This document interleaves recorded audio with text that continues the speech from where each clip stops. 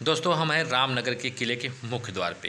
ये भारत के चुनिंदा राजाओं में से हैं, जिनके वंशज आज भी ज़िंदा हैं। दोस्तों, हम गंगा ब्रिज पे हैं और देखिए, रास्ते से होते हुए हम बेचू के ट्रामा सेंटर के पास से गुजर रहे हैं, दोस्तों। चित्रकारियाँ, नक्काशियाँ आप देख रहे हैं, दीवालों पे किस तरह मोदी जी ने करवाया हुआ है।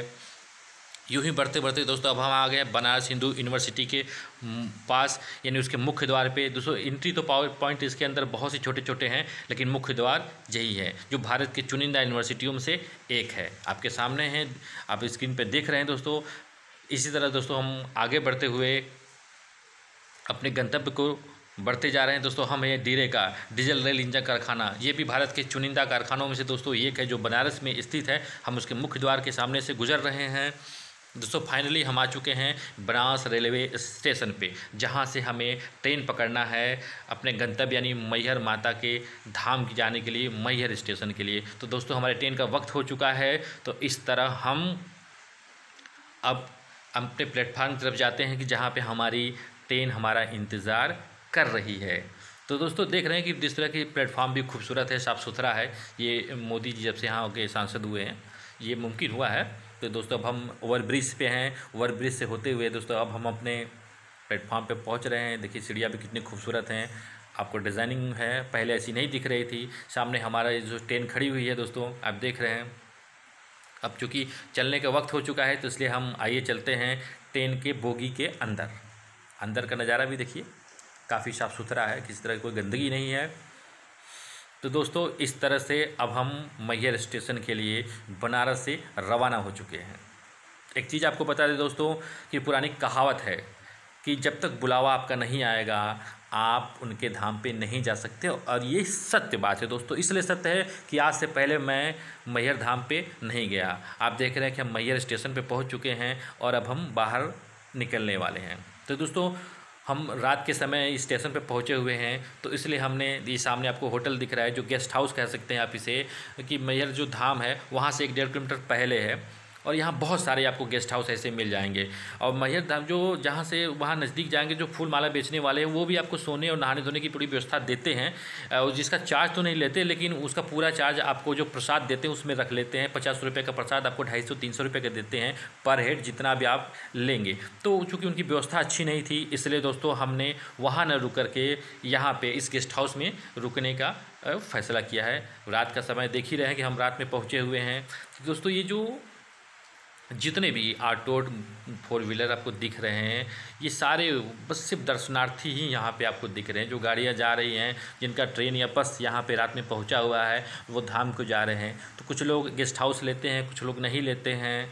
तो दोस्तों, रात हो गया है तो हम स्टे करने के बाद सुबह देखिए, हम अर्ली मॉर्निंग चार बजे के आसपास हमने निकले क्योंकि अगर ज़्यादा लेट करेंगे तो धाम में वहाँ भीड़ लग जाएगी, फिर जाने में बहुत तकलीफ़ होगी। दोस्तों, ये मुख्य द्वार है, आप देख रहे हैं, दो शेर हमारा आगमन कर रहे हैं, जिस पे गणेश जी भी लगे हुए हैं सामने।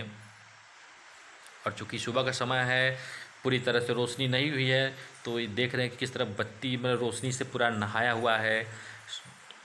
ये शेल्टर होम बना हुआ है, जहाँ पे कि हम प्रतीक्षा कर सकते हैं, विश्राम कर सकते हैं, जो रात में पहुँचते हैं, जो रात में चढ़ाई नहीं करना चाहते हैं। दोस्तों, सामने एक छोटा सा और मुख्य द्वार है, जहाँ से ऊपर चढ़ने के लिए सीढ़ियाँ स्टार्ट हो जाएँगी। तो दोस्तों, क्रमशः क्रमशः हम उन सीढ़ियों की तरफ़ देखिए कि बढ़ रहे हैं और हमारे साथ बहुत सारे लोग हैं जो दर्शनार्थी हैं वो भी क्रमशः क्रमशः सीढ़ियों की तरफ़ बढ़ रहे हैं। और देखिए, इसका जो गेट है वो भी काफ़ी अच्छे पत्थरों से निर्मित किया गया है और देखिए, द्वारपाल भी बनाए गए हैं। मतलब नक्काशी पूरी तरह से खूबसूरती बनाई गई है।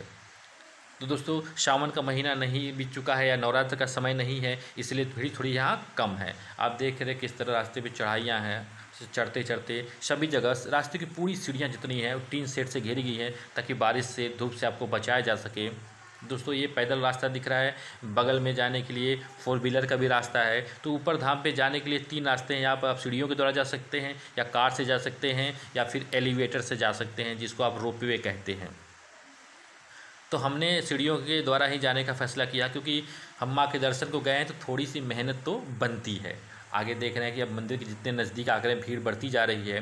दोस्तों, अब हम आ चुके हैं पूरी तरह से पहाड़ के ऊपर, यानी माता का जो गर्भगृह है उसके सामने। आप देख रहे हैं यहाँ पे कतारों में लोग अपने दर्शन के अपने नंबर का इंतज़ार कर रहे हैं और भीड़ ज़्यादा तो नहीं है, लेकिन इतनी है कि आपको वेट करने की ज़रूरत पड़ रही है। सामने आपको दिख रहा है माता का मंदिर, यानी उनका गर्भगृह और किस तरह लोग अपने पारी का इंतज़ार कर रहे हैं सीढ़ियों पर खड़ा होकर बगल में आप देख रहे हैं कि ये काल भैरव जी का छोटा सा मंदिर है। माता रानी के दर्शन करने के बाद लोग इनके भी दर्शन करते हैं।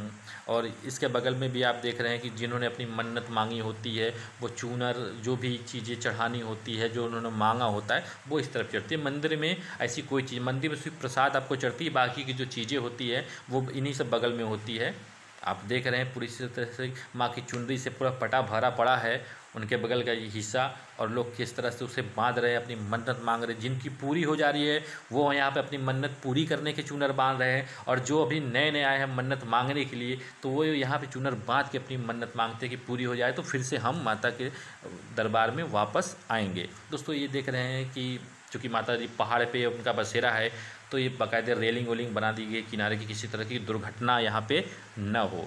आप ये देख रहे हैं गर्भगृह उनका मंदिर है, ये पिछला हिस्सा आप दिखा रहे हैं। हम आपको चारों तरफ़ से दिखाएँगे कि किस तरह से कैसे कैसे उनका मंदिर है, चारों तरफ़ से, और किस तरह उनकी व्यवस्था है। और दोस्तों, ये जो लोग दिख रहे हैं, ये सारे लोग दर्शनार्थी वो लोग हैं, जो माँ का माँ का दर्शन कर चुके हैं, अब आराम करने के लिए पीछे की तरफ़ हैं।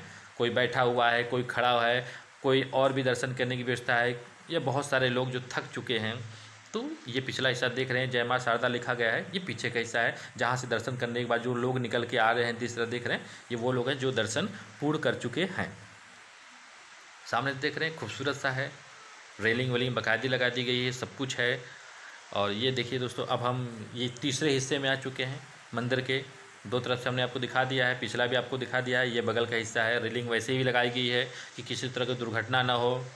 और दोस्तों ये देखिए जो उनके पंडित लोग हैं उनके लिए कूलर की व्यवस्था की है गर्मियों में ताकि उन्हें ठंड बनाए रखें। उनका दिमाग चूँकि दिन दिन भर आ, हमारी वो सेवा करते हैं माँ से दर्शन कराने में तो रेलिंग देख रहे हैं कि इस तरह लगाई गई है ताकि किसी दुर्घटना ना हो। और धुंध आप देख रहे हैं धुंध इसलिए देख रहे हैं कि अभी सुबह का वक्त है पूरी तरह से रोशनी नहीं हुई है। तो ऐसा लग रहा है कि जैसे कि पूरा तरह से ये वर्क के चीज़ों से ढका हुआ है दोस्तों। अब देखिए, दूसरी तरफ़ से हम आ चुके हैं। फिर से देखिए, ये नीम का पेड़ है जहाँ पे लोग अपनी मन्नत की चुनरियाँ बांधे हुए हैं।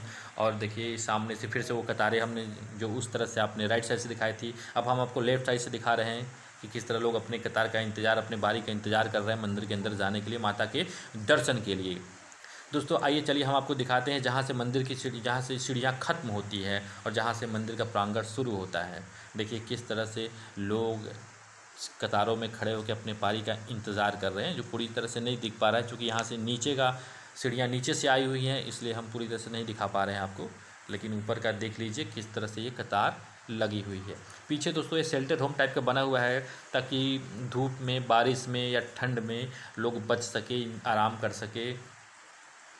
और बैठ सके कुछ देर। उसके बाद यहाँ से फिर वो नीचे चढ़ाइयाँ शुरू की थी। क्योंकि एक बार चढ़ने में थकान, दोस्तों ये माता रानी की देख लीजिए कितनी खूबसूरत तस्वीर बनी हुई है, झांकी बनी है, अपने शेर पे सवार हैं। तो दोस्तों हमारी जर्नी खत्म हो चुकी, माता का दर्शन कर चुके हैं, इसलिए हम नीचे उतरने के लिए वापस आ रहे हैं। नीचे आने के लिए दोस्तों ये दूसरा रास्ता है, जिस रास्ते से हम चढ़ के आते हैं, उस रास्ते से वापस नहीं गुजरते हैं, ये दूसरा रास्ता है। तो दूसरे रास्ते से देख रहे हैं कि बहुत सारे लोग जो दर्शन कर चुके हैं, वो अब नीचे जा रहे हैं। साथ में हम भी नीचे चल रहे हैं। दोस्तों, ये छोटा सा जो माँ के दर्शन का ये मॉक वीडियो है, उम्मीद करते हैं कि आपको पसंद आया होगा। अगर पसंद आया दोस्तों कमेंट कीजिएगा, आप शेयर कीजिए, और जो नए दोस्त हैं दोस्तों, वो सब्सक्राइब ज़रूर कीजिए हमारे चैनल को। दोस्तों, मिलते हैं ऐसे ही किसी यूनिक